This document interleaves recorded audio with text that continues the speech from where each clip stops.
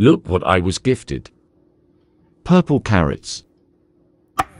By now I've learnt that anthocyanins are what makes some veggies purple. I also know how temperamental and reactive they can be. Purples are the most fugitive natural colors I work But it's a wonderful game for me to try and capture the color. and see the colors change by altering pH and to create a pigment rich and texturally satisfying paint. I also made a purple loaf with the boiled carrots.